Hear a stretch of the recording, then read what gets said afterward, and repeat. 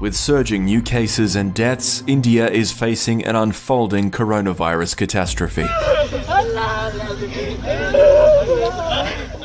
Here's what led the country to this state of emergency.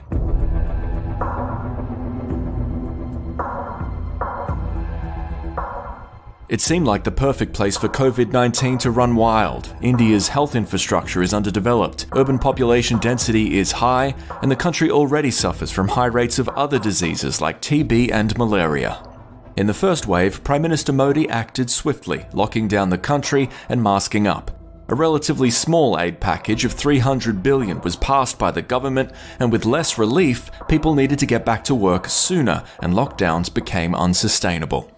This led to what the WHO called the perfect storm mass gatherings, new variants, and a low vaccination rate. The aftermath brought a surge of more than 4 million infections and 35,000 deaths in April alone, and those are just the official figures. The true toll is estimated to be 20 to 30 times higher. The rapidity with which this virus is spreading is uh, faster as compared to the uh, last wave's virus.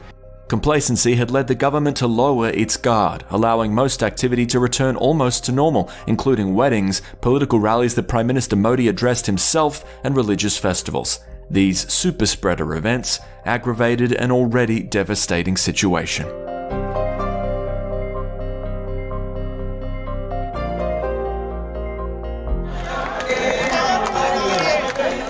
The Kumbh Mela festival, one of the world's biggest religious gatherings, was held in the city of Haridwar between January and this week. It attracted an estimated 25 million Hindu pilgrims, mostly without masks or social distancing.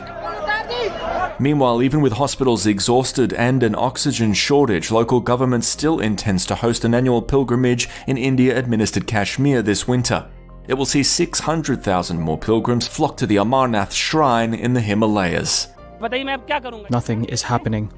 All the helpline numbers issued by the government are switched off. As foreign countries cut travel ties and step up aid to India, the Indian government has called on its armed forces to help tackle the situation, described by many as the worst healthcare crisis in modern Indian history. We accept the fact that the coronavirus is here and it is widespread.